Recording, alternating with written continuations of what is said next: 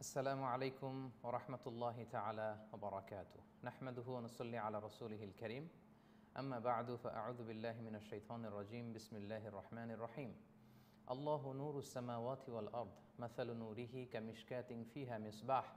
المصباح في الزجاجة. الزجاجة كأنها كوكب دري يوقد من شجرة مباركة زيتونة لا شرقية ولا غربية. يكاد زيتها يضيء ولو لم تمسسه نار نور على نور يهدي الله لنوره من يشاء ويضرب الله الأمثال للناس والله بكل شيء عليم صدق الله العظيم رب اشرح لي صدري ويسر لي أمري واحلل عقدة من লিসানি ইয়াফকাহু কওলি light আপন light শিরোনামে পবিত্র রমাদানুল মুবারকে মিজানুর রহমান আজহারি এই ভেরিফাইড ফেসবুক পেজ থেকে চার পর্বের কোরআনিক লাইভ সিরিজের দ্বিতীয় পর্বে আপনাদের সবাইকে স্বাগত জানাচ্ছি। সম্মানিত সুধী, আমরা লাইট আপন লাইট শিরোনামের এই লাইভ সিরিজটি করছি। বেসিকলি সুরাতুন নূরের আলোকে আপনারা জেনেছেন এবং পবিত্র রমাদানুল মুবারকে প্রতি মঙ্গলবার বাংলাদেশ সময় রাত দশটায় এই পেজ থেকে এই লাইভটি সম্প্রচার করা হয়। যারা এই লাইভটিতে যুক্ত হয়েছেন তাদের সবাইকে আবার অভিনন্দন জানিয়ে আমাদের দ্বিতীয় পর্ব আমরা শুরু করতে যাচ্ছি। আশা করছি আপনারা সবাই ভালো আছেন, সুস্থ আছেন, নিরাপদে আছেন এবং সবসময় দোয়া করি আল্লাহ তালা আপনাদের সবাইকে ভালো রাখুন, সুস্থ রাখুন, তার স্পেশাল নিরাপত্তার চাদরে আবৃত রাখুন। আমাদের এই লাইভটি আমাদের ভেরিফাইড ফেসবুক পেজ থেকে যেমনি ব্রডকাস্ট হচ্ছে, পাশাপাশি আমাদের মিজানুর রহমান আজহারি নামে যে ভেরিফাইড ইউটিউব চ্যানেল আছে, সেখান থেকেও ব্রডকাস্ট হচ্ছে। কোরআনের এই বার্তাগুলোকে গণমানুষের কাছে পৌঁছে দেওয়ার স্বার্থে আমি শুরুতেই আপনাদের সবাইকে অনুরোধ করব, আপনারা লাইভটি শেয়ার করবেন। সম্মানিত সুধী সুরাতুল নূরের উপর আমরা গত মঙ্গলবার প্রথম পর্ব শেষ করেছি। লাইট আপন লাইট বা আলোর উপর আলো, জ্যোতির উপর জ্যোতি এই শিরোনামের চার পর্বের কোরআনিক লাইভের প্রথম পর্ব ছিল গত মঙ্গলবার। আজকে আমরা দ্বিতীয় পর্বের আলোচনায় খুব শীঘ্রই প্রবেশ করছি। এবং আপনাদের মনে থাকবার কথা যে আমরা গত পর্বে সুরানুরের প্রথম বিশটি আয়াত নিয়ে আলোকপাত করেছিলাম। আজকে আমরা সুরানুরের একুশতম আয়াত থেকে চল্লিশতম আয়াত পর্যন্ত আলোকপাত করব ইনশা আল্লাহ বিদিনিল্লা এবং আজকে একটি রিমাইন্ডার মেসেজ আমি দিয়েছিলাম, একটি স্ট্যাটাস দিয়েছিলাম আমার ফেসবুক পেজে যে লাইভের শুরুতে আপনারা যারা কমেন্টস করবেন, এই কমেন্টসগুলো আমি আপনাদের পড়ে শোনাবো। বিশেষ করে কারা কোন জায়গা থেকে লাইভটিতে জয়েন করেছেন? বাংলাদেশের কোন জেলা থেকে আপনি দেখছেন আমাদেরকে? বা প্রবাসী ভাই বোনদের মধ্যে থেকে, পৃথিবীর কোন দেশ থেকে আপনারা জয়েন করলেন? আপনারা কাইন্ডলি আপনাদের নাম এবং কোত্থেকে আমাদেরকে দেখছেন? কোত্থেকে আমাদেরকে শুনছেন? আমাদেরকে জানাবেন প্লিজ মূল আলোচনাতে যাবার আগে একটি শোক বার্তা দিয়ে শুরু করতে চাই। যেহেতু আজকে আমরা দেখেছি বাংলাদেশে সকালবেলায় বাংলাদেশের সবচাইতে বড় কাপড়ের পাইকারি মার্কেট বঙ্গবাজারে ভয়াবহ অগ্নি দুর্ঘটনা ঘটে গিয়েছে। এবং যে সমস্ত ব্যবসায়ীরা তাদের দোকানপাট সম্পদ হারিয়েছেন, তাদের কান্না দেখে আসলে আমরা নিজেরাও চোখের পানি ধরে রাখতে পারিনি। তারা একে অপরকে জড়িয়ে ধরে কাঁদছিলেন। আসলে তাদের ব্যবসা প্রতিষ্ঠান বা কাপড় চোপড় এগুলো পুড়ছিল না, পুড়ছিল তাদের লালিত স্বপ্নগুলো। এবং এই বঙ্গ মার্কেটে প্রায় চার হাজারেরও বেশি কাপড়ের দোকান আছে এবং আমরা দেখেছি এগুলো পুরে ছাই হয়ে গিয়েছে এবং তারা যখন একজন আরেকজনকে ধরে কান্না করছিল, এই দৃশ্য দেখাটা আসলে আমাদের জন্য খুবই কষ্ট করছিল আমরা দেখেছি যে ফায়ার সার্ভিসের প্রায় পঞ্চাশটি ইউনিট তারা একসাথে কাজ করেছে। সেনাবাহিনী কাজ করেছে, হেলিকপ্টার দিয়ে উপর থেকে পানি স্প্রে করা হচ্ছিল। পাশাপাশি র্যাব, বিডিআর বিজিবি অনেকগুলো বাহিনী যৌথভাবে তারা চেষ্টা করেছে এবং দেখলাম যে পানি যখন শেষ হয়ে গিয়েছিল তখন তারা ঢাকা বিশ্ববিদ্যালয়ের ফজলুল হক মুসলিম হলের যে পুকুর সেখান থেকে পানি এনে স্প্রে করছিল। তো আমরা আমাদের ভাইদের জন্য দোয়া করি। আমরা শুরুতেই শোক জানাচ্ছি এবং তাদের ব্যথায় আমরাও ব্যথিত। মুসলিমরা যেখানেই কোনো দুর্ঘটনার শিকার হয়, পৃথিবীর অন্য প্রান্তের মুসলিম ভাইয়েরা তারা ব্যথিত হয়। আমরা শোক বার্তা জানাচ্ছি। তাদের জন্য দোয়া করছি, আল্লাহ তালা এই বিপদকে, বিপদে তাদের ধৈর্য ধারণের তৌফিক দান করুক, তারা যেন এটা সামলে উঠতে পারে এবং একটা সলিউশনের ব্যবস্থা যেন আল্লাহ তালা করে দেন আমাদেরকে। আল্লাহ তালা কালামুল্লাহ মাজিদে বলেছেন বহরল ফাসাদ ফিল বার্রি ওয়াল বাহরি বিমা কাসাবাত আইদিন নাস। জলস্থলে যে বিপর্যয়ের সম্মুখীন আমরা হচ্ছি, এগুলো আমাদের হাতের কামাই। এই যে দুর্ঘটনা, অগ্নি দুর্ঘটনা বা অগ্নিকাণ্ড, এটার পেছনেও আমরা ঘাটতে গেলে দেখব যে এখানে আমাদের হাতের কামাই আছে। আমাদের গাফলতি, আমাদের অবহেলা, আমাদের নিয়ম না মানা, আমাদের স্বেচ্ছাচারিতা, এগুলোর কারণেই কিন্তু এই দুর্ঘটনা ঘটে। এবং উন্নত দেশগুলোতে কিন্তু এত বেশি অগ্নিকাণ্ড আমরা ঘটতে দেখি না। বাংলাদেশে কিছুদিন পরপরই এই অগ্নিকাণ্ডের ঘটনা কিন্তু আমরা দেখতে পাই। সো এগুলো আসলে আমাদের হাতের কামাই। আমি দায়িত্বশীল পর্যায়ে যারা আছেন, তাদেরকে বিনীতভাবে অনুরোধ করব যে আমাদের ফায়ার সার্ভিসের যে টিম, এটাকে আরও মজবুত করে, শক্তিশালী করে ওয়েল ট্রেন্ড করে প্রিপেয়ার করা দরকার। আমি আমাদের ফায়ার সার্ভিসের দমকল বাহিনীর ভাইদের প্রতি আমরা কৃতজ্ঞতা জানাই। ওনারা নিজেদের জীবন বাজি রেখে অগ্নিকাণ্ড স্বাভাবিক অবস্থায় আনার বা নিয়ন্ত্রণে আনার চেষ্টা করেন। আজকেও দেখলাম যে কয়েকজন আহত হয়ে হসপিটালের বার্নি ইউনিটে আছেন, তাদের প্রতি আমরা কৃতজ্ঞতা জানাই। কিন্তু তাদেরকে আরও ওয়েল অর্গানাইজড ওয়েতে প্রিপেয়ার্ড ওয়েতে ট্রেন্ড ওয়েতে তাদেরকে গড়ে তুলতে হবে। উন্নত বিশ্বে আমরা যেটা দেখি। কিছুদিন আগে একটা ভিডিও ক্লিপস আমার চোখে পড়েছে যে আমরা দেখলাম একটা ফায়ার সার্ভিসের টিমদের একটা অনুশীলন চলছিল সেখানে। বেড়া দিয়ে বা ছন দিয়ে একটা ঘর বানানো ছিল। ইচ্ছে করে তারা সেখানে আগুন দিল এবং দেখলাম যে ফায়ার সার্ভিসের টিম এসে তাদের পাইপ বের করে হোসটা বের করে, পানির সুইচ অন করে সেখানে পানি স্প্রে করার আগেই সে সে ঘর আগুনে ভস্য হয়ে গিয়েছে। তো এরকম যদি অবস্থা হয় আমাদের সেটা কিন্তু আমাদের জন্য ভয়ঙ্কর। সো আমি দায়িত্বশীলদের বলব বা বিনীত নিবেদন জানাব যে আমরা যেন আমাদের ফায়ার ব্রিগেডিয়ার বা ফায়ার সার্ভিসের যে আমাদের যে দমকল বাহিনী, এটাকে যেন আমরা খুব শক্তিশালী করে ওয়েল ট্রেন্ড ম্যানারে তাদেরকে যেন আমরা গড়ে তুলি, যেহেতু প্রায় আমাদের দুর্ঘটনা ঘটে। এবং দুর্ঘটনার পেছনে আমরা যদি আমরা খুঁজি, দেখব যে যে সমস্ত এলাকায় আগুন লাগে বা অগ্নিকাণ্ড ঘটে। দেখা যাবে যে এগুলো খুব সরু রাস্তা, ঘিঞ্জি এলাকা, নিয়ম মেনে ভবনগুলো করা হয়নি, খুব ঝুঁকিপূর্ণ ভবন।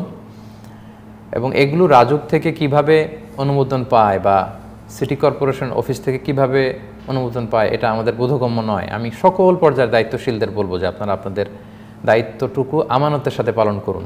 যখন এই দুর্ঘটনা ঘটে, তখন আমাদের টনক নড়ে ওঠে। সো আমরা যেন একটা বিল্ডিং থেকে আরেকটা বিল্ডিংয়ের যে স্পেস রাখার কথা, সেটা যেন রাখি। প্রশস্ত রাস্তার ব্যবস্থাপনা যেন রাখি, আইনগুলো যেন আমরা মেনে চলি। উন্নত দেশে কিন্তু আমরা দেখব যে অনেক স্পেস রেখে তারা ভবন তৈরি করে। তো আমার মনে হয় এটা অনেক বড় অংশে দায়ী। তারপর আমাদের অগ্নি নির্বাপক যে যন্ত্র, এটা, এটার ঘাটতি আছে। আমরা বহির্বিশ্বে দেখি যে যে কোনো ইউনিভার্সিটিতে কলেজে যে কোনো ভবনে যে কোনো অফিসে সব জায়গাতে সিঁড়ির পাশেই এই ফায়ার এক্সটিংগুইশার মেশিনটা থাকে এবং সাধারণ মানুষও জানে কীভাবে এটা ইউজ করতে হয়। এই ব্যাপারে বোধহয় আমাদের সচেতনতা একটু বাড়ানো দরকার। পাশাপাশি আমরা সাধারণ জনতাও এখানে আমাদের দায়িত্বটুকুন পালন করতে হবে। অনেক সময় দমকল বাহিনী আসছে, কিন্তু আমরা সেখানে ভিড় জমাই। আমরা উন্নত বিশ্বে দেখি যে অ্যাম্বুলেন্স যখন সাইরেন দেয় ফায়ার সার্ভিসের গাড়ি যখন হুইসেল দেয় সাইরেন দেয়, সবগুলো গাড়ি দুই দিকে চলে যায়, দমকল বাহিনী ছুটতে থাকে। মানুষ, মানুষগুলো সরে যায় তাদের কাজ করতে দেয় তারা। তাদেরকে সাহায্য করে। কিন্তু আমাদের যেটা হয়, উৎসুক জনতার ভিড়ে দমকল বাহিনী আসতে পারে না, কাজ করতে পারে না। এবং আমরা দেখা যায় যে এখানে ভিড় করি, ভিডিও করতে শুরু করি, ফেসবুকে পোস্ট দিতে শুরু করি, কিন্তু সেখানে আমাদের কিন্তু দায়িত্বশীল ভূমিকাটুকুন পালন করতে হবে। সকলের সম্মিলিত প্রচেষ্টায় আমরা এই বিপদগুলো থেকে উদ্ধার পেতে পারি। আমরা নিউজে দেখেছি যে আজকের এই দুর্ঘটনার পরে পাঁচ সদস্য বিশিষ্ট একটা তদন্ত কমিটি করা হয়েছে। তো এই তদন্ত কমিটি পর্যন্তই যেন ব্যাপারটা সীমিত না থাকে। আমাদেরকে লং রানে ভাবতে হবে। দেশের সকল দায়িত্বশীল পর্যায়ের সম্মানিত দায়িত্বশীলদেরকে আমরা এই লাইভ থেকে বিনীত অনুরোধ জানাব, আমরা যেন দীর্ঘমেয়াদী ভাবনা, ভাবতে শিখি। আমরা যেন নগরায়নের যে কনসেপ্ট আধুনিক কনসেপ্ট রাস্তাঘাট, ভবন নির্মাণের যে নীতিমালা, এগুলো যেন মেনে চলি। আমরা মানুষের জীবনের যেন দাম দিতে শিখি। আল্লাহ তালা আমাদের সবাইকে এ ধরনের বিপদ থেকে হেফাজত করুক। আবারও আমি আমার ভাইদের প্রতি শোক জানিয়ে, তাদের প্রতি ব্যথা এবং দুঃখ প্রকাশ করে, ঈদকে সামনে রেখে তারা হাজার হাজার কোটি টাকা এখানে ইনভেস্ট করেছিলেন। তাদের সব কিছু পুরো ছাই হয়ে গিয়েছে। তাদের কান্না দেখে আসলে আমি নিজেও চোখের পানি ধরে রাখতে পারিনি। আল্লাহ তালা আমাদের ভাইদেরকে সবর করার তৌফিক দান করুক এবং এই সমস্ত বিপদ থেকে আল্লাহ তালা আমাদেরকে হেফাজত করুক। সম্মানিত সুদী সুরানুরের দ্বিতীয় পর্বে যাওয়ার আগে আমি বলেছিলাম যে, আপনারা কে কোথা থেকে আমাদের লাইভটি দেখছেন কাইন্ডলি আপনারা মন্তব্য করে জানাবেন। যাতে করে আমরা বুঝতে পারি যে আপনারা কারা থেকে দেখছেন। এ পর্যায়ে আমি আপনাদের কমেন্টসগুলো একটু পড়ব এবং দেখব যে আপনারা বাংলাদেশের কোন জেলা থেকে বা কোন দেশ থেকে আপনারা লাইভটি দেখছেন। কাইন্ডলি আপনারা মন্তব্য করে জানাবেন।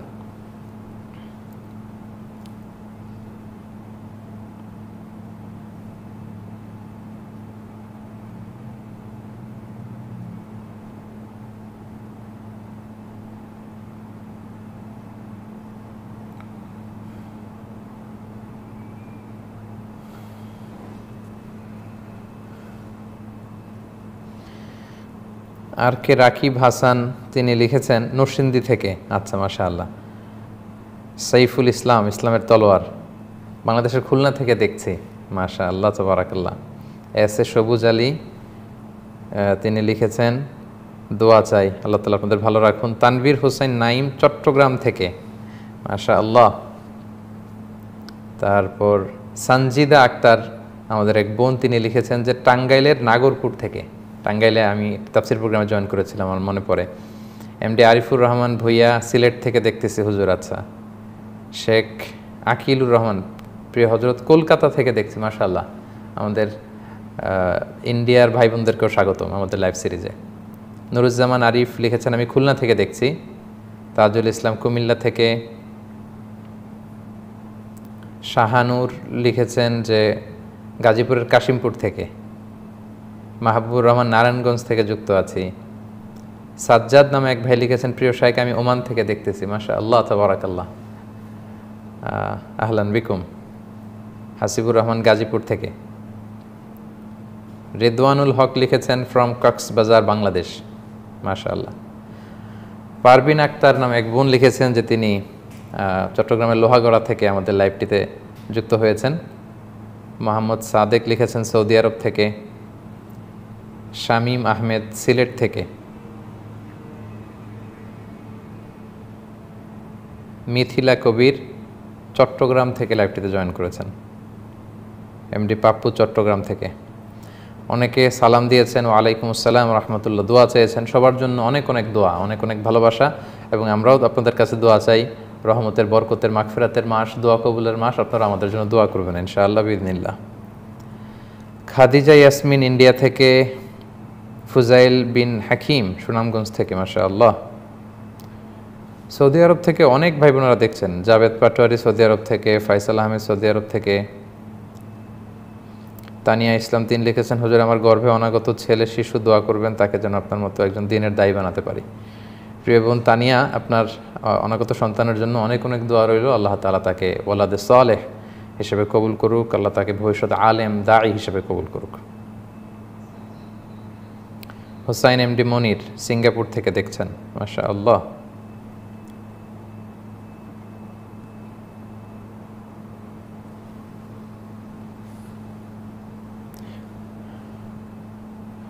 তামান্না তাসনিম লিখেছেন, আসসালামু আলাইকুম, ওয়ালাইকুম আসসালাম রহমতুল্লাহ। টেকনাফ থেকে দেখছি।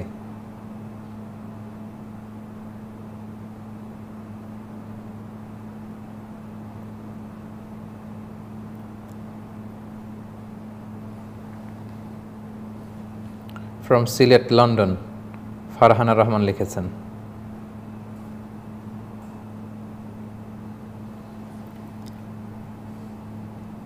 এমডি হাসানুজ্জামান বিয়ানীবাজার থেকে এমডি রাজন হোসাইন কুমিল্লার লাকসাম থেকে জয়েন করেছেন।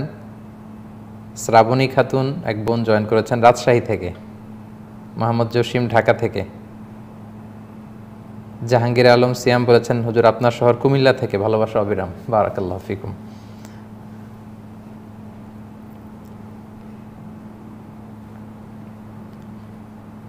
ইসহান মোহাম্মদ মুজাহিদ, বরিশাল থেকে। আলহামদুলিল্লাহ, শুক্রিয়া জানাচ্ছি প্রিয় ভাই এবং বোনেরা, এবং আশা করছি আপনারা বাংলাদেশের সবগুলো জেলা থেকে জয়েন করেছেন। টেকনাফ থেকে তেঁতুলিয়া, রূপসা থেকে পাথরিয়া, এবং সারা বিশ্বের বিভিন্ন দেশ থেকে আপনারা আমাদের লাইভ সিরিজটিতে জয়েন করেছেন। আমি আবারও আপনাদের রিকোয়েস্ট করে রাখব কোরআনের বাণী আমাদের অন্যান্য ভাই বন্ধুরা যাতে শুনতে পারে, সেজন্য আমরা এই লাইভ সিরিজটি যেন শেয়ার করি আমাদের ওয়ালে। ফলে অন্যরাও এই আলোচনা শুনে লাইভ সিরিজটিতে থেকে ওনারাও উপকৃত হতে পারবেন ইনশাআল্লাহ বিদিনিল্লা সম্মানিত শুধু আপনাদের কমেন্টসগুলো পড়া শেষে এবার আমরা সুরাতুন নূরের লাইট আপন লাইট শিরোনামে, জ্যোতির উপর জ্যোতি শিরোনামের যে আমাদের চার পর্বের লাইভ সিরিজ তার দ্বিতীয় পর্ব আনুষ্ঠানিকভাবে শুরু করছি। আমরা বলেছিলাম যে গত পর্বে আমরা বিশ আয়াত থেকে এক থেকে বিশ আয়াত পর্যন্ত আলোচনা করেছিলাম। এই পর্বে আমরা একুশ আয়াত থেকে আলোচনা শুরু করব ইনশাআল্লাহ বিদিনিল্লা আপনাদের নিশ্চয়ই মনে আছে যে আমরা শেষ করেছিলাম হচ্ছে ইফকের ঘটনা দিয়ে। অর্থাৎ আমাদের আম্মাজান আয়েশা রাদিয়াল্লাহ তাল আনহার চরিত্রের ব্যাপারে যে রুমর ছড়ানো হয়েছিল মদিনার মুনাফিকেরা এবং ভুল করে কয়েকজন মুমিন মুসলমানও কিন্তু এই রুমরে, রুমরের ফাঁদে পা দিয়ে তারাও জড়িয়ে পড়েছিলেন। এবং কেন নবীর স্ত্রী আমাদের আম্মাজান আয়েশা রাদিল্লাহ তাল আনহার ব্যাপারে এই রুমরে তারা কান দিল। তারা কেন বিশ্বাস করল? তারা কেন এটাকে ছড়ালো? আল্লাহ তালা এটা যে অনেক বড় পাপ। এই বলে গভীর হুঁশিয়ারি দিয়েছেন ওয়ার্নিং করেছেন, ভর্ৎসনা করেছেন। এবং তারই ধারাবাহিকতায় আলোচনা চলছিল। একুশ নম্বর আয়াত আল্লাহ তালা বলছেন, ইয়া আইয়ুহাল্লাযীনা আমানু, লা তাত্তাবিউ খুতুওয়াতিশ শাইতান। ওহে বিশ্বাসীরা, তোমরা শয়তানের পদাঙ্ক অনুসরণ করো না। ওমাই ইয়াত্তাবিউ খুতুওয়াতিশ শাইতান, ফাইন্নাহু ইয়া'মুরু বিল ফাহশাই ওয়াল মুনকার। কেননা শয়তান সে অশ্লীল এবং নিষিদ্ধ কাজের ব্যাপারে আদেশ করে। তার মানে আল্লাহ তালা বোঝাতে চাইলেন, এগুলো অশ্লীলতা হচ্ছে শয়তানের কাজ। এবং শয়তানই কিন্তু এই পাপ কাজটাকে শোষবিত করে দিয়েছিল মুনাফিক নেতা আবদুল্লাহ ইবনু ইবনে সালুলের কাছে। এবং মুমিনদেরকেও প্রভোকেশন করে করে টেম্পটেশন দিয়ে দিয়ে তাদেরকে এই দলে ভিড়িয়েছিল। ফলে আল্লাহ বলছেন যে, এই অশ্লীলতার কাজ হচ্ছে শয়তানের কাজ। আর শয়তান তোমাদের সুস্পষ্ট দুশ্মন। খবরদার, শয়তানের পদাঙ্ক তোমরা অনুসরণ করবে না। ওলাউল্লাহ ফদলুল্লাহ আলাইকুম রহমাতুহু মা জাকামিন কুমিন আহাদিন আবাদা। আর আল্লাহর অনুগ্রহ এবং দয়া যদি তোমাদের প্রতি না থাকতো তাহলে তোমাদের কেউই পবিত্র থাকতে পারতে না। কারণ আমরা জানি মদিনায় একটা বিশাল সংখ্যক লোক কিন্তু এই রুমর বা গুজবের ব্যাপারে কান দেয়নি। তারা কিন্তু জড়ায়নি, তারা পবিত্র ছিল। তাহলে বলছেন, তোমরা যে পবিত্র ছিলে, যারা পবিত্রতা অবলম্বন করো, এটা নিজের বড়াই করার বা অহংকার করার কোনো বিষয় নয়। এটা আল্লাহ তালার অনুগ্রহ বা দয়ার কারণেই কিন্তু আমরা পবিত্রতা অবলম্বন করতে পারি। ওলাকিন আল্লাহ ইউসাকিমাইয়াশা আল্লাহ যাকে চান, তাকে পবিত্র করেন। আল্লাহ হুসামিয়া আলিম। আল্লাহ তালা তিনি মহা শ্রবণকারী এবং মহাজ্ঞানী। এটা হচ্ছে একুশ নম্বর আয়াতের সংক্ষিপ্ত ব্যাখ্যা। বাইশ নম্বর আয়াতের একটা শানে নজুল আছে। আমরা জানি যে আয়েশা রাদিল্লাহ তালাহাকে যখন অপবাদ দেয়া হয় এবং আল্লাহ তালা যখন আয়াত নাজিল করে আম্মাজান আয়েশা রাদিল্লাহ তালাহার পবিত্রতা বর্ণনা করলেন, তখন রাসুসাহ ইসলামের কাছে এটা স্পষ্ট হয়ে গেল যে ওনার স্ত্রী পবিত্রা। ফলে যারা এই অপবাদ দিয়েছিল মোমিনদের মধ্য থেকে, তাদেরকে তিনি আশি ব্যাত করে দেয়ার আদেশ করলেন। এবং আমরা জানি যে রাসুসাহ ইসলামের কাছের কয়েকজন সাহাবি এটাতে জড়িয়ে পড়েছিলেন, যেমন মিস্তা ইবনে উসাসা, হাসান ইবনে সাহাবেদ রাজি আল্লাহ তালাহু এ দুজন নারীদের মধ্যে থেকে হামনা বিনতে জাহাস এই তিনজনকেই আশি ব্যাত দেওয়া হয়েছিল। তো মিস্তা ইবনে উসাসা রদি আল্লাহ তালাহু এবং হাসান বিন সাবে দুজনেই কিন্তু বদরি সাহাবি। বদরের যুদ্ধে অংশগ্রহণ করেছিলেন। তাদের স্ট্যাটাস কিন্তু অনেক হাই কিন্তু তারা শয়তানের ফাঁদে পা দিয়ে ভুল করে ফেলেছিলেন এটা। এবং আল্লাহ তালার কাছে তবা করে তারা ক্ষমা পেয়েছিলেন আল্লাহ তালা তো মিস্তা ইবনে উসাস রাদিল্লাহ তালাহু তিনি সম্পর্কে আবু বকর রাদিল্লাহ তালাহুর আত্মীয় ছিলেন এবং আর্থিকভাবে একটু দুর্বল ছিলেন। ফলে আবু বকর রাদিল্লাহ তালাহু তাদের ফ্যামিলিকে সহায়তা করতেন, আর্থিক সহায়তা করতেন, ভাতা। প্রতি মাসে ভাতা দিতেন। কিন্তু তিনি যখন দেখলেন যে এই মিস্তা যাকে আমি অর্থ দিয়ে অর্থ সহায়তা দেই, এই মিস্তাই কিনা আমার কন্যার ব্যাপারে এই অপবাদ রটালো সমাজে? তিনি শপথ করলেন যে আজকে থেকে আর কোনো আর্থিক সহায়তা আমি মিস্তার মিস্তার পরিবারকে দিব না। কারণ আমার খেয়ে আমার পরে আমার পবিত্রা, নিষ্কলুষ, নিষ্পাপ মেয়ের ব্যাপারে তুমি কীভাবে সমাজে এই কথা ছড়ালে? আমি শপথ করলাম যে আমি মিস্তাকে এখন থেকে আর কোনো ভাতা দিব না। তখন আল্লাহ তালা এ আয়াতটা নাজিল করলেন। আল্লাহ তালা বললেন ওলা ইয়াতাল ওলা ইয়াতালি উলুল ফদলি মিনকুম ওয়াসাআতি আন ইউতু উলিল কুরবা ওয়াল মাসাকিন ওয়াল মুহাজিরিন ফি সাবিলিল্লাহ। আল্লাহ বললেন, তোমাদের মধ্য থেকে যারা যারা প্রাচুর্যের অধিকারী, তোমাদের মধ্য থেকে যারা প্রাচুর্যের অধিকারী, সম্পদের অধিকারী, সম্মানের অধিকারী, তারা যেন গরিব সাহাবিদেরকে, যারা ফকির, মিসকিন আল্লাহ রাস্তায় যারা হিজরত করেছে তাদের অর্থ সহায়তা বন্ধ করে দিবে, এই মর্মে যেন শপথ না করে, তারা যেন এই শপথ না করে। বরং তারা যেন কি করে? ওয়ালিয়া আফু ওয়ালিয়াসফাহ তারা যেন ক্ষমা করে দেয়। আল্লাহ তো হিব্বুনা আইয়া গফির আল্লাহ লাকুম, তোমরা কি পছন্দ করো না যে আল্লাহ তোমাদেরকে ক্ষমা করে দিবেন? আল্লাহু গফুর রহিম, আর আল্লাহ তালা তিনি হচ্ছেন ক্ষমাশীল, তিনি হচ্ছেন মেহেরবান। তো আল্লাহ তালা বুঝাতে চাইলেন, প্রিয় ভাই এবং বোনেরা, যে হে আবু বকর, যদিও মিস্তাইবনে উসাস একটা ভুল করে ফেলেছে কিন্তু তাদেরকে অর্থ সহায়তা দেব না, এই ভাতা বন্ধ করে দিব। এটা তোমাদের বলা উচিত নয়, বরং তাদেরকে ক্ষমা করে দাও। তাদের ক্ষমা করলে তো আমি আল্লাহ তোমাদের ভুলগুলো ক্ষমা করব। তোমরা কি চাও না যে আমি আল্লাহর পক্ষ থেকে তোমরা ক্ষমা পাও? এই আয়াত শুনে আবু বকরাদুল্লাহু তিনি আবেগ আপ্লুত হয়ে পড়লেন। তিনি বললেন ওল্লাহে বালা ইয়া রব্বানা, ইন্না আলা নহিব্বু আন্তাগফির আলানা ইয়া রব্বানা। অর্থাৎ হে আল্লাহ, অবশ্যই আমরা চাই যে আপনি আমাদেরকে ক্ষমা করবেন। এবং সাথে সাথে আহ, আবু বকরাদুল্লাহ শপথ ভঙ্গ করলেন। তিনি বললেন যে না আমি ভাতা বন্ধ করে দেবে বলেছিলাম। এটা আমি করব না বরং আমি ভাতা চালু রাখব। সুবাহান আল্লাহ এই আয়াত শোনার পরে আবু বকরাদুল্লাহ তালাহু মিস্তা ইবনে উসাসা যিনি আমাজান আয়সরাদুল্লাহ তালাহাকে ওনার মেয়েকে অপবাদ দিয়েছিলেন তিনি ভাতা দিবেন না বলে ওয়াদা শপথ করার পরেও তিনি সেই শপথ ভঙ্গ করে ভাতা চালু রাখলেন। কারণ তিনি আল্লাহ তালার ভালোবাসাকে এতটাই প্রাধান্য দিয়েছেন, দুনিয়ার এই ছোট্ট বিষয়কে তিনি নাকচ করে তিনি বললেন, আমি এই ভাতা চালু রাখব। তিনি আবার দিতে লাগলেন, আর্থিক সহায়তা দিতে লাগলেন। এরপর আল্লাহ তালা বললেন ইন্নাল্লাদিন ইয়ারমুন আল মুমিনাতিল লুইনু ফিদ দুনিয়া ওয়াল আখিরা। যারা সচ্চরিত্রা গুনার ব্যাপারে অন্যমনস্ক, বিশ্বাসী নারীদেরকে অপবাদ দেয়, দুনিয়া এবং আখেরাতে তাদের জন্য লানত। ওলাহুম আদাবুন আদিম তাদের জন্য রয়েছে কঠিন শাস্তি। এই মহসানাত, গাফিলাত, মুমিনাত দ্বারা কেউ কেউ বলেছেন সব সচ্চরিত্রা নারী উদ্দেশ্য এবং অনেক মুফাসরিন একরাম বলেছেন এটা দ্বারা আম্মাজান আয়েশা রাদিল্লাহ তালানহা উদ্দেশ্য। যে আম্মাজান আয়েশার মতো নিষ্কুলুষ একটা নারীকে, মহামানবীকে যারা অপবাদ দিয়েছে, তাদের উপর দুনিয়া এবং আখেরাতে আল্লাহ লানত। কারণ আম্মাজান আয়েশা তো সাধারণ কোনো মানুষ নন, তিনি আমাদের আম্মাজান উম্মুল মিনিন তিনি বিশ্বনবী ইসা ইসলামের স্ত্রী এবং তাকে আল্লাহ তালা এমন কয়েকটি স্পেশাল ক্যারেক্টারিস্টিক্স বা অ্যাট্রিবিউটস দিয়েছেন যেগুলো অন্য কোনো নারীর ছিল না। তার মধ্যে একটা হচ্ছে তিনি প্রায় আল্লাহর কাছে সুক্রিয়া করতেন এবং গর্ব ভরে অন্যদেরকে শোনাতেন। তিনি বলতেন, আমি হচ্ছি বিশ্বনবী ইসা ইসলামের একমাত্র কুমারী স্ত্রী। আমাকে ছাড়া কোনো কুমারী নারীকে তিনি বিয়ে করেননি।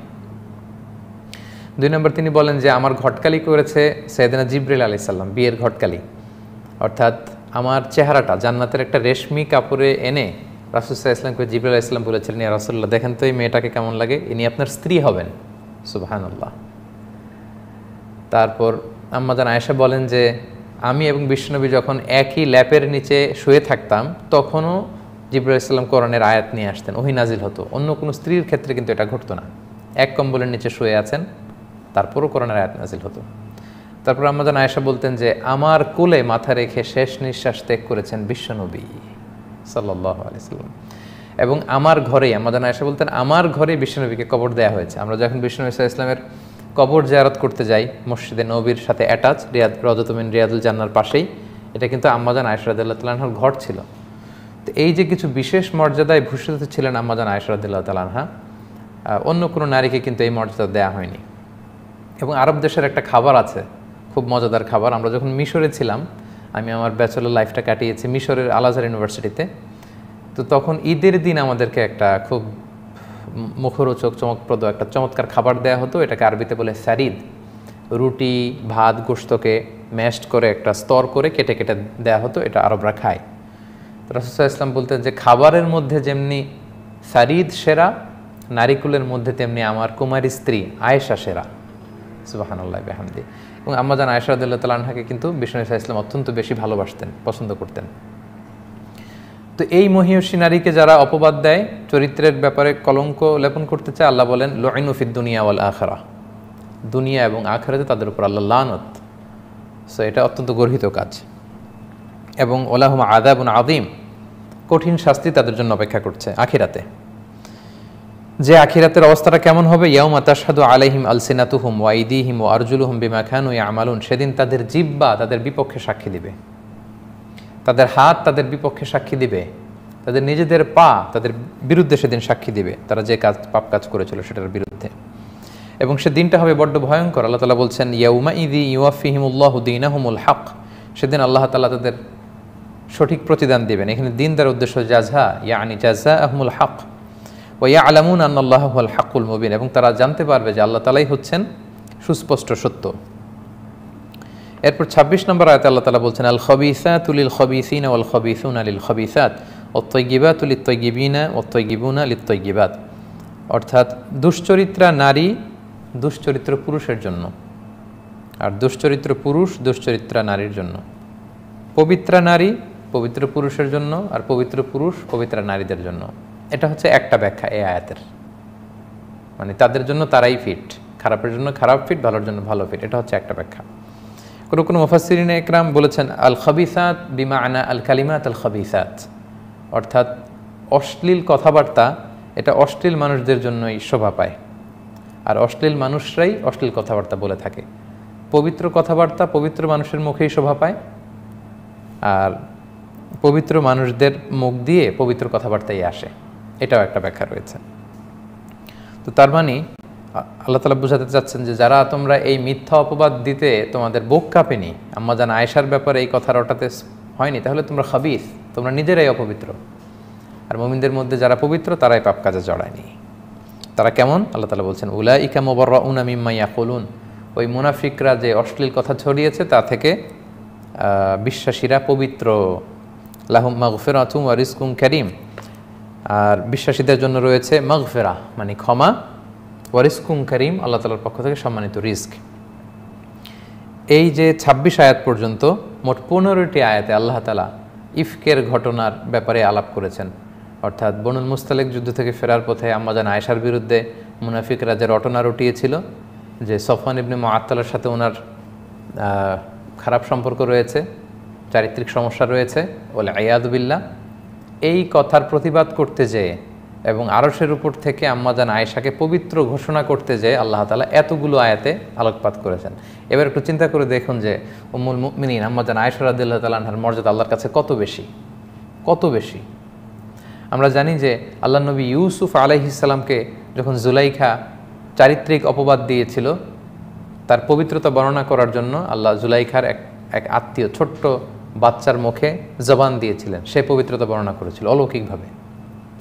ঈসা আলাইসাল্লামের মা মারিয়ামের ব্যাপারে যখন চারিত্রিক অপবাদ দেওয়া হয়েছিল, তখন আল্লাহ তালা আল্লাহ নবী ঈসা আলাইসাল্লাম মায়ের কোলে ছিলেন, তার জবানে কথা বলার শক্তি দান করলেন। ঈসা আলাইসাল্লাম আঙ্গুল তুলে বললেন যে, আমার মা অপবিত্রা নয়, আমি নবী হয়ে এসেছি।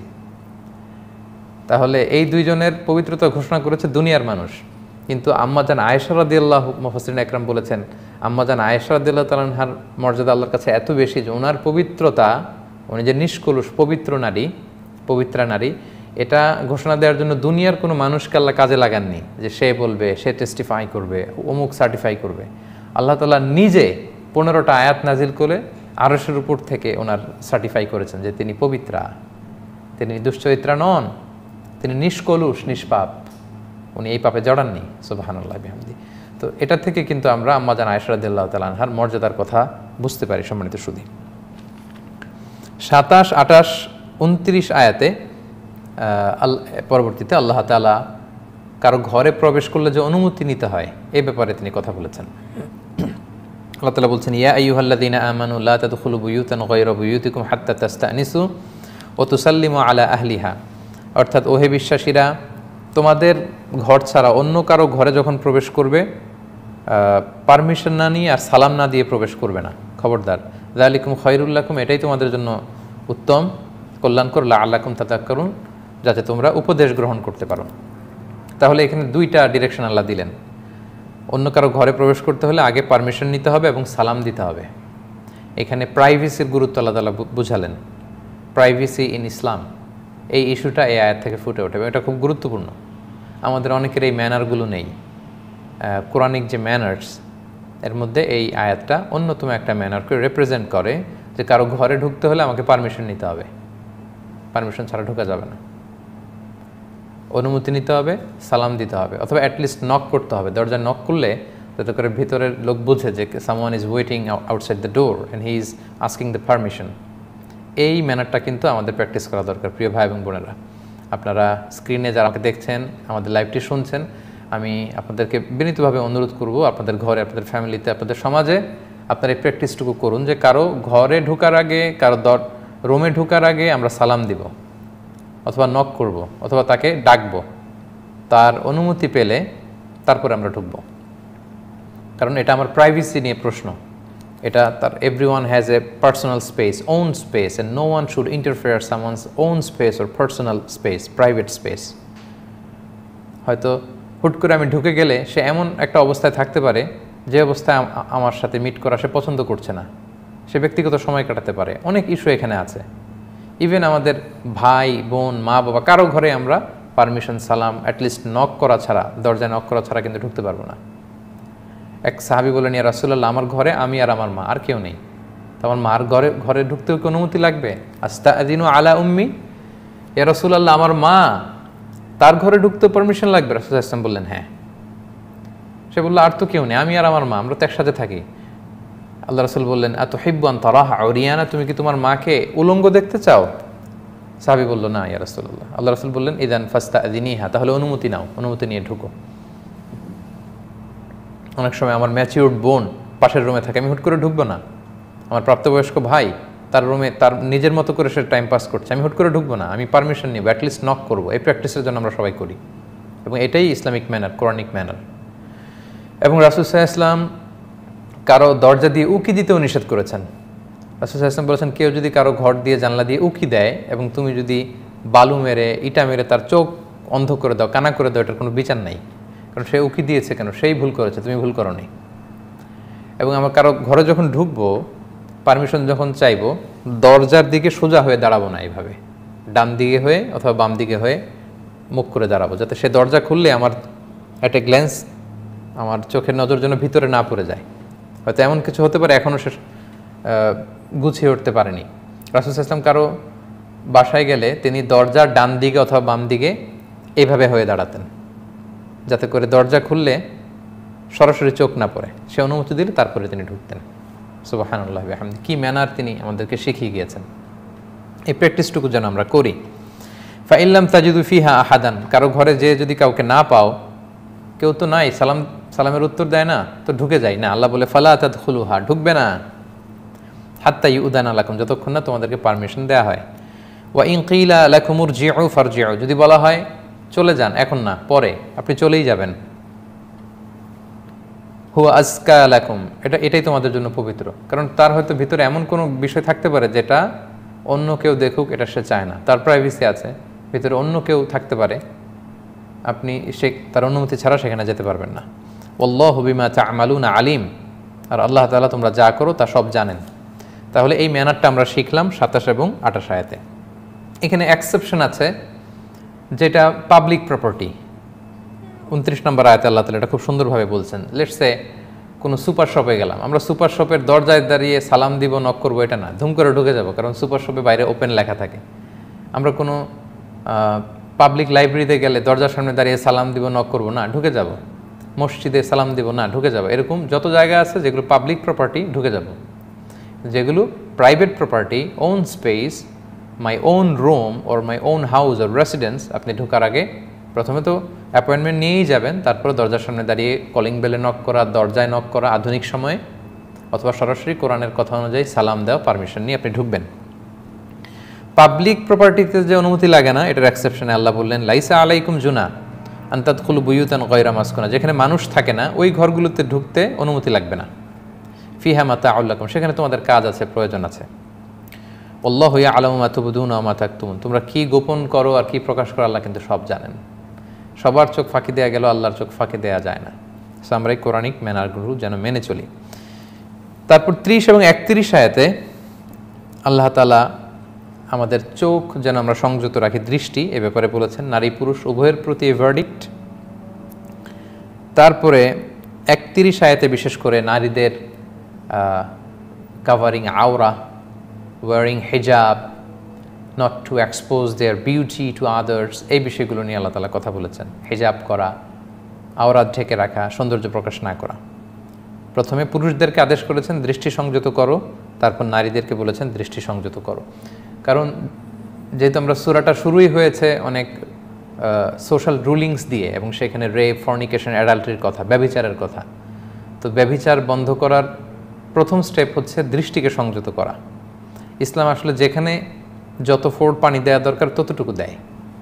যেই রাস্তাটা ব্লক করে দিলে পাপের রাস্তা বন্ধ হয়ে যায়, ইসলাম সেটাকে বন্ধ করে। তো ব্যভিচার বা জিনা, এটার সূচনা হয় থেকে বলুন তো আপনারা? জি, ঠিকই বলেছেন। অসংযত, অসংলগ্ন দৃষ্টি থেকে। দৃষ্টি দিয়ে এটার সূত্রপাত। অপরিচিত নারী পুরুষ একে অপরের দিকে এই অসংযত চাহনি বারবার দৃষ্টি দেয়া, ফলে মনে বা ভেতরে আকর্ষণ তৈরি করা, একে অপরকে ভালো লাগা, পাপ সম্পর্কে জড়ানো এবং অ্যাজ এ রেজাল্ট অ্যাডাল্ট্রি বা ফর্নিকেশনের দিকে চলে যাওয়া। আল্লাহ তালা এগুলো থেকে, এই ব্যবচার থেকে অশ্লীল থেকে থেকে আমাদের হেফাজত করুক। তাই প্রথম রাস্তাটা আল্লাহ ব্লক করে দিয়ে বললেন কুল্লিল মিনিনা ইয়াগুদ্দুবিন আবু সারিহিম ও ইয়াহফাদু ফুরুজাহম। হে নবী আপনি বিশ্বাসী মুমিনদের বলুন, তারা যাতে তাদের দৃষ্টিকে সংযত করে। Lower your gaze lower your eyesight চোখ নামা এবং তারা যেন তাদের প্রাইভেটকে হেফাজত করে। লালিকা আজকা আলহম এটাই তাদের জন্য পবিত্র। ইন্নআল্লাহ খবির বিমাই তারা কি করে আল্লাহ কিন্তু ভালো করেই জানেন। তাহলে চক্ষুকে অবনমত করা, অবনমিত করা, সংযত করা, এটা এটা জরুরি। এটা থেকে পাপের সূত্রপাত। এবং শয়তান এই লাগামহীন দৃষ্টি দিয়েই মানুষকে পাপে জড়িয়ে ফেলে। আমার প্রিয় যুবক ভাই এবং বোনেরা, আমরা মোবাইল ব্যবহার করার সময়, সোশ্যাল মিডিয়া ব্যবহার করার সময়, ম্যাগাজিন পড়ার সময়, টিভি দেখার সময় আমরা যেন এটা খেয়াল রাখি। এই রকম কোনো দৃশ্য, দৃশ্যায়ন যদি আসে, আমরা যেন চোখ নামাই, আমরা যেন স্ক্রল করে অন্য প্রোগ্রামে চলে যাই। পাশাপাশি মানে same order goes to for women নারীদের জন্য এটা যাচ্ছে, আল্লাহ তালা বলছেন যে ওয়াকুল্লিল মিনাত ইয়াকুদুদ্না মিনা বসারেহিন্না হেনবি মমিনদের পাশাপাশি আপনি মমিন নারীদেরও বলুন, মমিন পুরুষদের পাশাপাশি তাদেরও বলুন, তারাও যাতে চোখ অবনমিত রাখে। ওই আহফাদনা ফুরু জাহুন তারা যেন তাদের প্রাইভেটসকে হেফাজত করে। ওয়ালা ইউবদিনা জিনা তাহুন্না ইল্লা মা দাহারা মিনহা। আর তারা যেন তাদের সৌন্দর্য প্রকাশ না করে, তবে মা দাহারা মিনহা, যেটা এমনিতেই প্রকাশ হয়ে যায় যেটা আর গোপন রাখা যায় না। সেটা তো আর গোপন করা যাচ্ছে না। সেটা ভিন্ন কথা। সেটা কি? এটা নিয়ে অনেক একতেলাফ আছে। কেউ কেউ বলেছেন সেটা হচ্ছে চেহারা আর হাত। এই দুইটা এমনি প্রকাশ হয়ে পড়ে। কেউ বলেছেন চেহারা, হাত, পা। পায়ের নিচের অংশ। টাকনো পর্যন্ত। এগুলা চলতে ফিরতে মানুষের এমনি প্রকাশ হয়। আবার কেউ কেউ বলেছেন না, চেহারা দেখানো যাবে না। শুধু হাত, পায়ের কিছু অংশ এবং তার গায়ে যে উপরে চাদর বোরকা পরা হয়, এটা তো মানুষ দেখবে, চাদর বোরকা তো দেখবে, কেউ কেউ এটার কথা বলেছেন। তবে তারা তাদের সৌন্দর্য প্রকাশ করতে পারবেন ইল্লালি বলাতিহিন্না স্বামীর ব্যাপার আলাদা, স্বামীর সাথে স্ত্রীর কোনো পর্দা নেই, কোনো পর্দা নেই।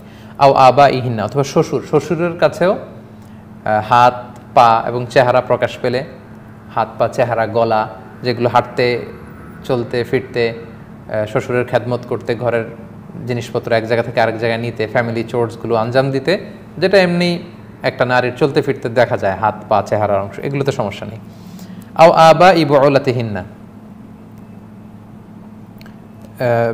স্বামী, বাবা, শ্বশুর, আও আবনা ইহিন্না সন্তান। সন্তানের কাছেও এই পর্দাটা নেই মানে কঠিন পর্দা যেটা, সেটা নেই।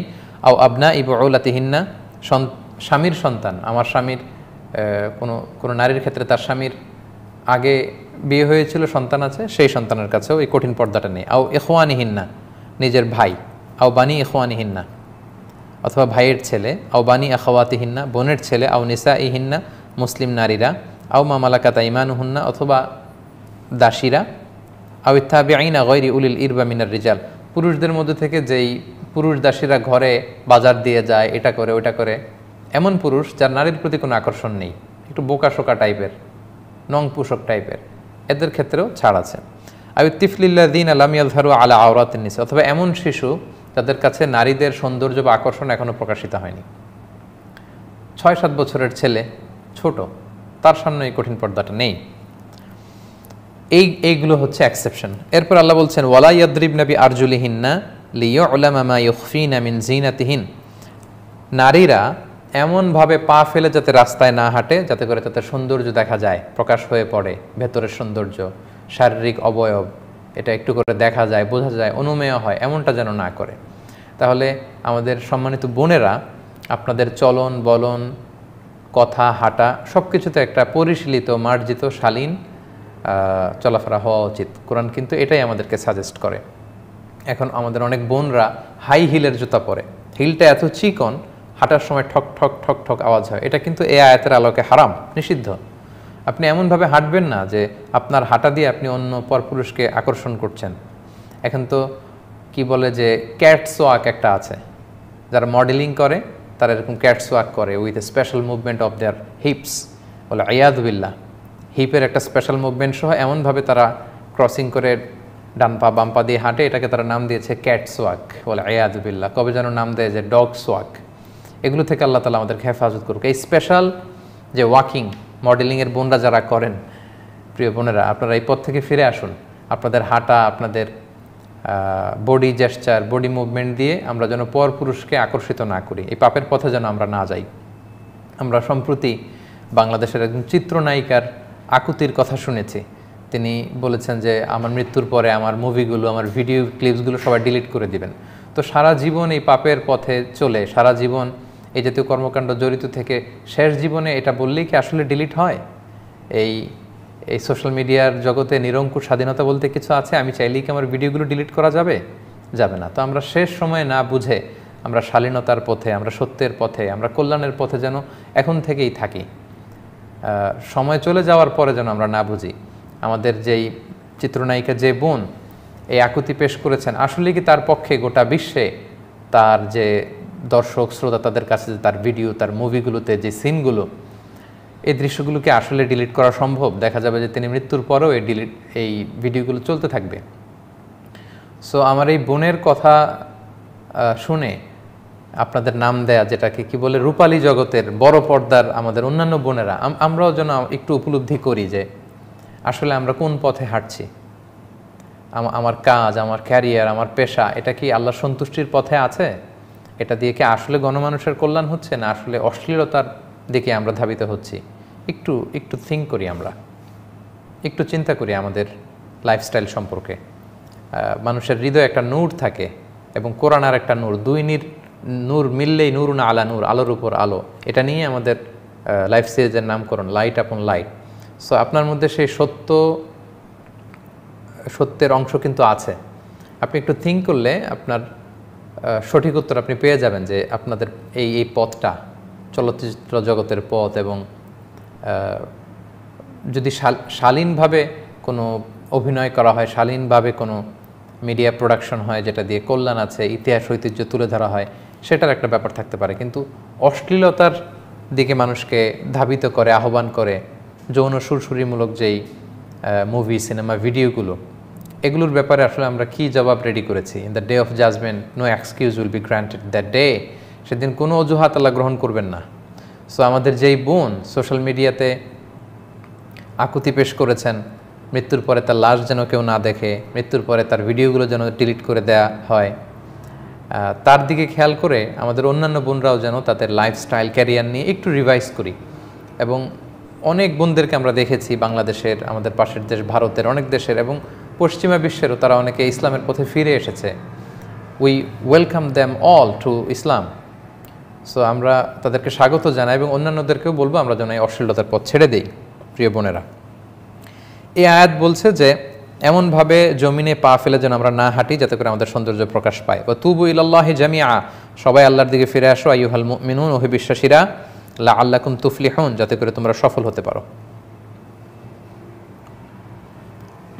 ওয়া আনকিহুল, এরপরে আল্লাহ তালা বত্রিশ নম্বর এবং তেত্রিশ নম্বর আয়াতে গার্ডিয়ানদেরকে বলতেছেন যে, তোমরা তোমাদের প্রাপ্তবয়স্ক সন্তানদের তোমাদের আন্ডারে থাকা ছেলে মেয়েদের বিয়ে দিয়ে দাও।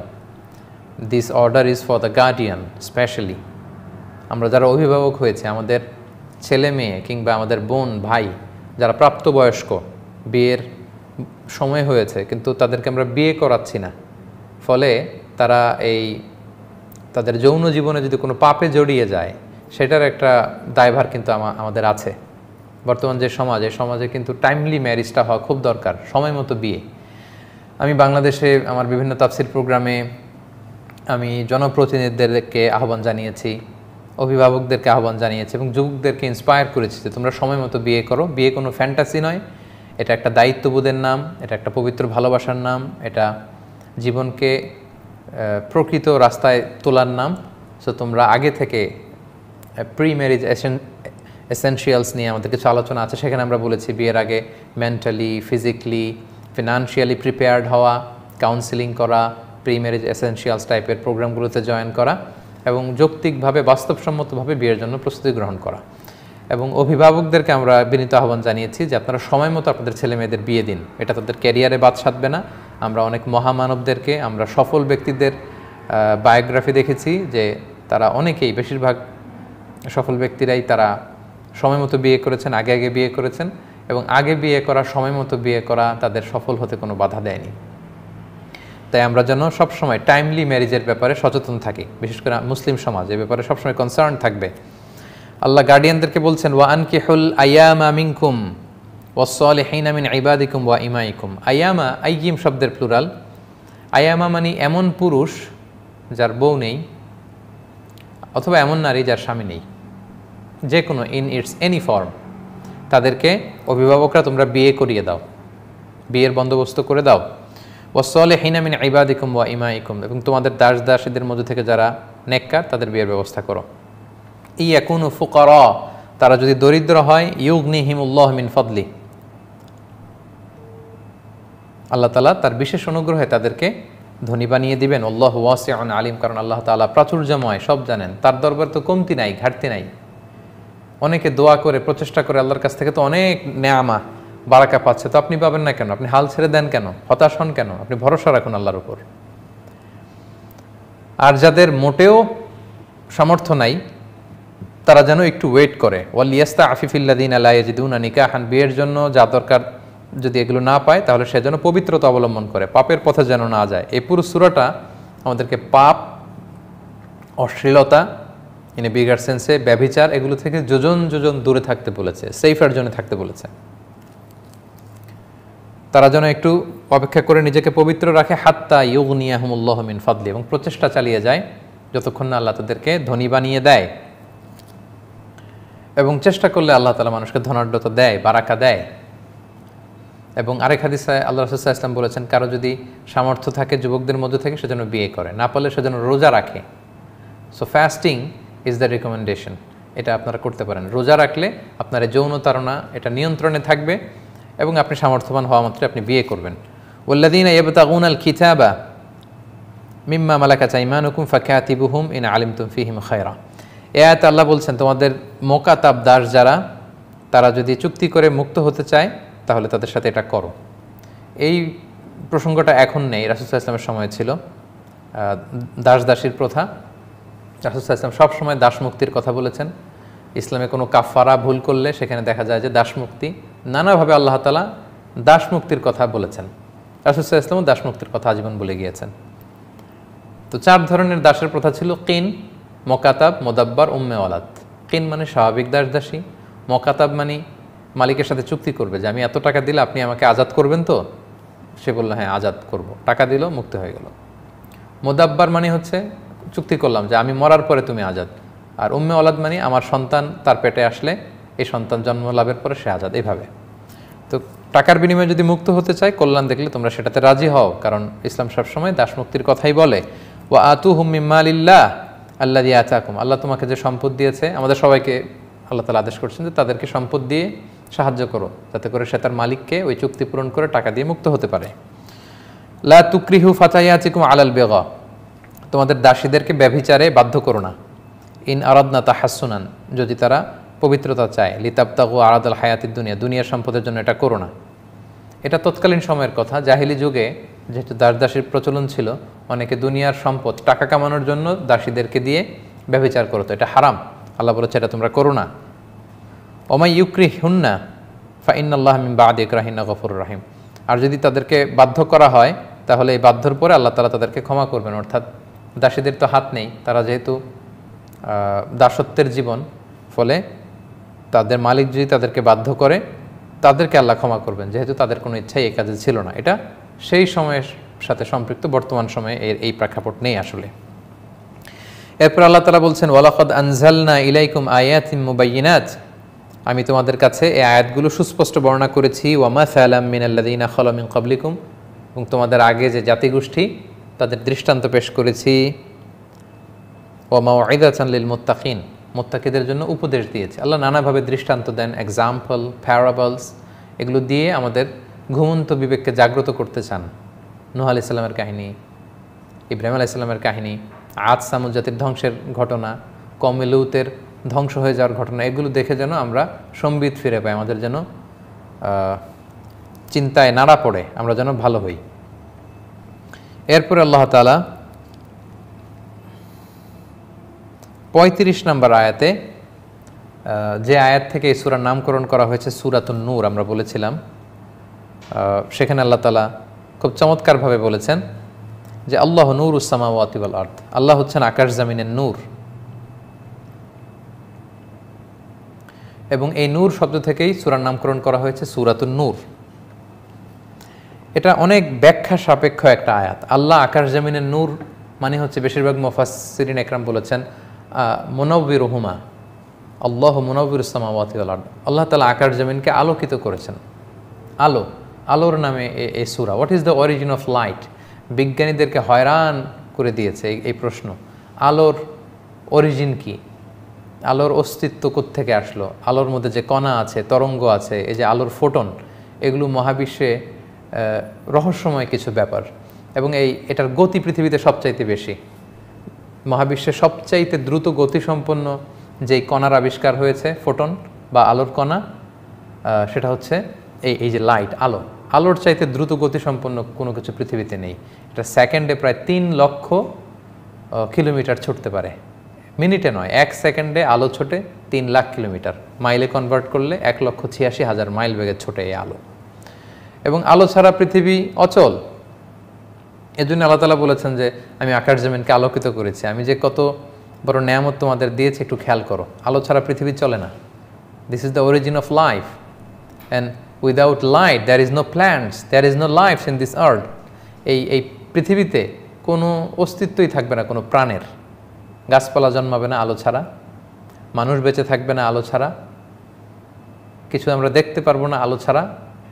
যেন আল্লাহ বলেন, আমি আকাশ জামিনকে আলোকিত করেছি। আলো হচ্ছে পৃথিবীর সবচাইতে দামি সম্পদ। এবং আমরা যখন কিছু দেখি, আলোর কণা ওই বস্তু থেকে এসে আমাদের চোখে যখন রিফ্লেক্ট করে, তখন আমরা দেখি। সো আলো না থাকলে না আমরা বাঁচবো, না প্রাণীকুল বাঁচবে, না বৃক্ষরাজি বাঁচবে, কোনো কিছুই বাঁচবে না। এজন্য আল্লাহ বলে, আমি এই গোটা বিশ্বকে আলোকিত করেছি। আলোকে ইংরেজিতে বলে লাইট, আরবিতে বলে নূর। এবং এই এই শব্দ থেকে কিন্তু সুরার নাম, সুরাতুন নূর। আলোকে কিন্তু নানাভাবে আল্লাহ তালা নিজের সাথে সম্পৃক্ত করেছেন। কখনো নিজের নাম হিসেবে, কখনো তার গুণ হিসেবে।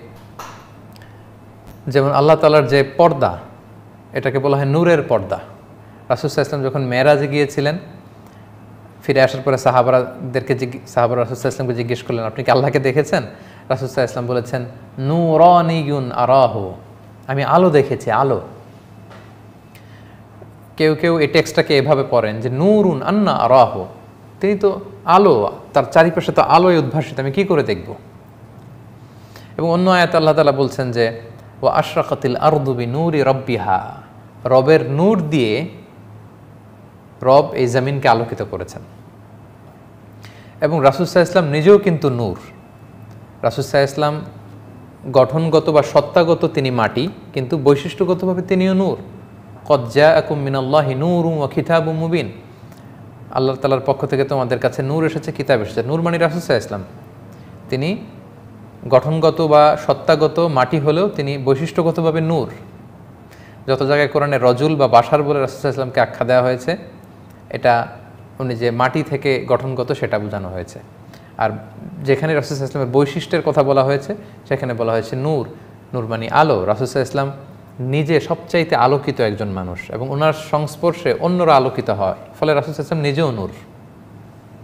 এবং তিনি সবসময় আল্লাহর কাছে নূর চাইতেন আল্লাহ হুম্মা জা আলফি বাসারি নূরা ফি আইনি নূরা মুখিন ওরা ইয়ামিনিন। আল্লাহ আমার ডানে, বায়ে, চোখে, কানে, দেহে এবং হাড্ডি মজ্জার ভেতরে আপনি নূর দেন, আমার জন্য আপনি আলো দেন, কারণ আলো পৃথিবীর সবচাইতে দামি সম্পদ। আলো ছাড়া আলো না থাকলে আমি আপনাদেরকে দেখতে পেতাম না, আমার এই লাইভ প্রোগ্রাম আপনারা দেখতে পেতেন না। সেজন্য আল্লাহ তালা বলেছেন, আল্লাহ নূর উসামাওয়াতি ওয়াল আর্দ আমি আকাশ জামিনকে আলোকিতকারী। এবং এই নূর থেকে এই সুরার নাম সুরাতুন নূর। এবং আল্লাহর এই আলোর দৃষ্টান্ত কীরকম? আল্লাহ বলেন, মাসালু নূরিহিকা মিসকায়াতিন আল্লাহর এই নূর বা আলোর দৃষ্টান্ত হচ্ছে কা মিসকাত একটা চেরাক দানের মতো, একটা বক্স বা তাকের মতো, যেখানে চেরাক বা প্রদীপ থাকে। আল্লাহ বলেন, ফিহা মিসবাহ। সেই তাকে বা চেরাকদানে আছে একটি মিসবাহ মানে লাইট বা বাল্ব বা প্রদীপ। আল মিসবাহ ফি জুজাজা আর বাতিটা আছে একটা স্বচ্ছ কাচের ভেতর বা চিমনির ভেতর। বর্তমান সময়ে যে বাল্ব, এই বাল্বের চারদিকে কী থাকে? কাজ থাকে কাজ দিয়ে ঘেরা, বাল্বটা থাকে, ভেতরে জল জলে আলো, সেটাই। আর জুজা যেতু কান্না কাউকাবন দুর্রি, আর এই যে স্বচ্ছ কাজ এটা কেমন যেন উজ্জ্বল নক্ষত্রের মতো সুবহানাল কোরআনের প্যারাবলগুলো, দৃষ্টান্তগুলো একটার সাথে আরেকটার যখন কম্পেয়ার করা হয়, অসাধারণ। শুরু করল মেশকাত মানে যেখানে বাতি রাখে চেরাকদান তাক। সেখান থেকে সুইচ করে চলে গেল বাতির দিকে। এবার বাতি কেমন? বাতিটা স্বচ্ছ কাঁচ দিয়ে ঘেরা। এবার কাঁচটা কেমন? আল্লাহ বলছেন কান্নাহা কাউকাবুন দুর্রি। এই কাঁচটা হচ্ছে বাতিকে ঘিরে রাখা স্বচ্ছ কাজটা হচ্ছে উজ্জ্বল নক্ষত্রের মতো। ইউ কদুমিন সাজারাতি মোবারাকা। আর এই বাতিটা জ্বলছে বরকতময় একটা গাছের তেল দিয়ে। কোন তেল? আল্লাহ বলছেন জাইতুনা জাইতুনের তেল। এবং এই অলিভের তেল, olive oil, extra virgin olive oil বা রিফাইন্ড অলিভ অয়েল পৃথিবীর সবচাইতে স্বচ্ছ তেল। এর চেয়ে স্বচ্ছ আর হতে পারে না। লাশার কিয়ত লাশার কিয়াতিম ওলা গর্বিয়া। এটা না প্রাচ্যের, না পাশ্চাত্যের। এটা পৃথিবীর একেবারে মিডেলে ফলে সূর্যের প্রখর তাপ এটার মধ্যে পড়ে। ইয়াকাদু ঝাইতুহা ইউদিউ, এবার অলিভ অয়েলটা কেমন? তেলের কথা আল্লাহ বলছেন যে ইয়াকাদু ঝাইতুহা ইউদিউ। এবার প্রদীপের কথা বাদ, বাতির কথা বাদ, আল্লাহ এবার তেলের কথা বলছেন যে তেলটা ফুয়েল হিসেবে জ্বল- জ্বলে জ্বলে বাতি হয়। আল্লাহ বলছেন ওই তেলটাই যেন জ্বলে সুবহান আল্লাহ ওই তেলের ভিতরেই যেন আলো, এটা এত স্বচ্ছ, এত স্ফটিক, এত ক্রিস্টাল ক্লিয়ার এই অলিভ অয়েল ইউদিউ, জল জল করে জলে মিটি মিটি জলে ওয়ালাউলাম তামসা সুনার, যদিও এখানে আগুন লাগানো না হয়, তেলটা নিজেই জলে তেল তো জলে সাধারণত যখন আগুন লাগানো হয়। আল্লাহ বলেন, অলিভ অয়েল, এটা এতটাই স্বচ্ছ, এটা নিজেই জ্বলে। তাহলে বাতি জ্বলছে, এখানে আলো, আবার তেলের ভেতরেও আলো। আলো কয়টা হলো তাহলে বলেন তো? দুইটা আলো। এই দুইটা আলোকে আল্লাহ বলছেন, নূরুন আলা নূর আলোর উপর আলো লাইট আপন লাইট আলোর উপর আলো বা জ্যোতির উপরে জ্যোতি। বেসিকলি আল্লাহ তালা এই প্যারাবল দিয়ে বুঝিয়েছেন, আল্লাহ যখন আমাদেরকে রুহের ফুৎকার দিয়েছেন, আমাদের প্রত্যেকের রুহে আল্লাহ একটা নূর ঢেলে দিয়েছেন বা আলো। সত্য, ফিতরাত, এটা আমাদের হৃদয়ে আছে। এবং আমাদেরকে হেদায়তের জন্য ওহি নামক আরেকটা আলো পাঠিয়েছেন, সব যুগেই পাঠিয়েছেন। কখনো তাওরাত নামে, কখনো ইঞ্জিল নামে, এই রেভেলেশন কখনো জাবুর নামে, কখনো সোহফে ইব্রাহিম ও মুসা নামে, আর কখনো কোরআন নামে। তো এই যে এই ওহি বা এই রেভেলেশন এটা আরেকটা আলো। আমাদের হৃদয়ে আছে এক আলো রেভেলেশন আরেক আলো। দুই আলো যখন মিলে যায়, এটা হয় নূরুন আলা নূর, আলোর উপর আলো। লাইট আপন লাইট জ্যোতির উপরে জ্যোতি। হৃদয়ের আলো আর ওহির আলো যখন কানেক্ট করে, ক্লিক করে, স্পার্ক করে, তখন সে হেদায়তের রাস্তায় উঠে যায়। সুবাহান আল্লাহ এখান থেকে আল্লাহ তালা সুরার নাম করেছেন সুরত নূর। ইয়াহদিল্লাহুলি নূর হিমাইয়াশা আল্লাহ যাকে চান তাকে তার আলো আলো দিয়ে পথ দেখান।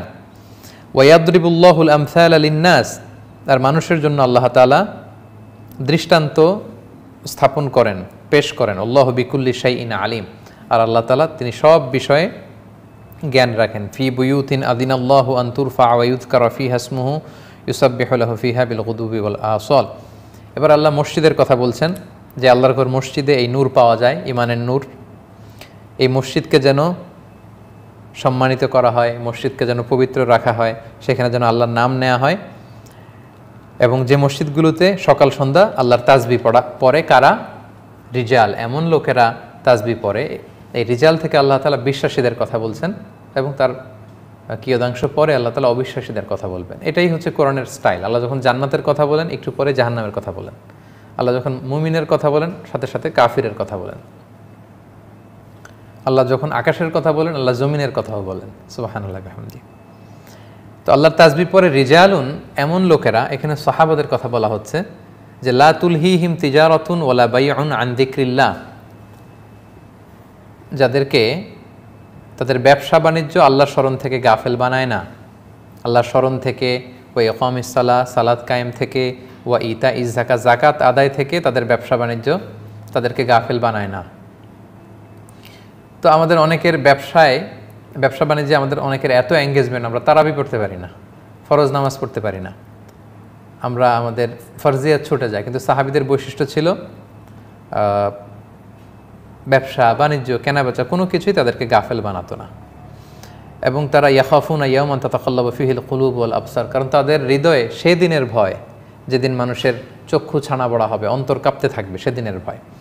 তাদের এই ভালো কাজের জন্য লিয়াদ জিয়াহমুল্লাহ আহসানামা আমিলু, তারা যে ভালো কাজ করেছে যাতে করে আল্লাহ প্রতিদান দিতে পারেন। ওয়াজিদ আহমিন ফদলি, এবং যাতে করে আল্লাহ তার স্পেশাল অনুগ্রহ বাড়িয়ে দিতে পারেন। ওল্লাহ ইয়ারসুকুমাইয়াশা উবেগৈরি হিসাব। আর আল্লাহ তালা যাকে চান তাকে বেহিসাব তিনি রিজিক দিয়ে থাকেন। তাহলে সম্মানিত শুধু আলোর উপরে আলো এবং আল্লাহ তালার যে নূর, এই নূরের স্বরূপ কেমন? আমাদের হৃদয়ের নূর, ওহির নূর, দুটার সমন্বয়ে কেমন করে এটা আলোর উপর আলো বা নুরুন আলা নূর হয় আমরা সেটা শুনলাম এবং বিশ্বাসীদের, মুমিনদের বৈশিষ্ট্যের কথা শুনলাম। এর পরপরই আল্লাহ তালা অবিশ্বাসীদের কাজের উপমা দিবেন এবং অবিশ্বাসীরা যে যে সমস্ত কাজ করে, ভালো হোক, খারাপ হোক, এটার এক্সাম্পল বা উপমা কেমন, সেখান থেকে আমরা তৃতীয় পর্ব শুরু করব ইনশাল্লাহ। আমাদের নেক্সট মঙ্গলবারে, রমাদানে, প্রতি মঙ্গলবার বাংলাদেশ সময় রাত দশটায় আমাদের এই লাইট আপন লাইট নামের কোরআনিক সিরিজের এপিসোডগুলো চলে। আজকে আমরা দ্বিতীয় এপিসোড বা দ্বিতীয় পর্ব শেষ করলাম। তৃতীয় পর্বে আমরা ইনশা আল্লাহ ইদনিল্লা উনচল্লিশ নম্বর আয়াত থেকে সেখানে কাফেরদের কাজের ধরন কেমন? সেখান থেকে আমরা আলোকপাত করব ইনশাআল্লাহ বিদিনিল্লা আমরা আবারও একটু ঢু মেরে নেই এবং একটু দেখি যে আমাদের ফেসবুক লাইভটিতে আপনারা কারা কারা যুক্ত আছেন এবং কি পরিমাণে আপনারা অংশগ্রহণ করছেন আমরা একটু দেখে নিব।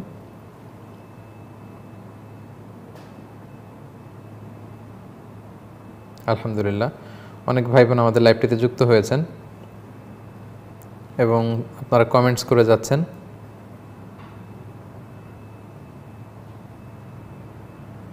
তাহসিনা পারভিন নামে এক বোন যুক্ত হয়েছেন চণ্ডীগড়, ইন্ডিয়া থেকে। মাশা আল্লাহ তাবারাকাল্লাহ। আমরা আর একটু দেখি, এক মিনিটের মতো দেখে আমরা ক্লোজ করে দেব ইনশাআল্লাহ। নীলপরি, তারপর রাবিয়া বসরি, তারপর তৌসিফ খান নোসাইবা রহমান, সাদিয়া আফরিন, তৌহিদুল ইসলাম অনেক ভাইরা যুক্ত হচ্ছেন, অনেক, অনেকে সালাম দিচ্ছেন। বদরুন্নাহারি ইতি এক বোন লিখেছেন, হুজুর দোয়া চাই। প্রিয় বোনেরা এবং প্রিয় ভাইয়েরা, আপনাদের সবার জন্য অনেক অনেক দোয়া।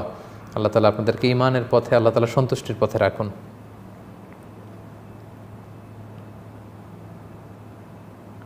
শরীফ হোসেন হৃদয়, এমডি আরিফ।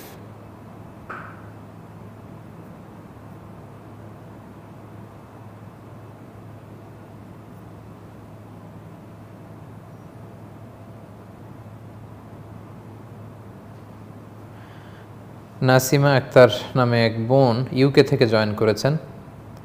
আপনারা যে যেখান থেকে আমাদের এই